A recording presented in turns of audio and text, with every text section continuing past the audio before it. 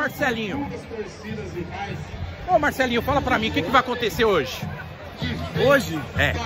Hoje tem três dedos, hoje tem gol de falta, hoje tem caixa. Pé de anjo do Ronaldinho Gaúcho. E essa emoção, como é que é? Sempre renovada, pisar no gramado?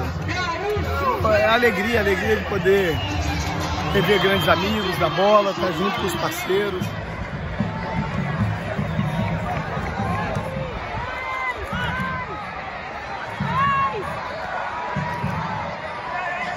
Let's go.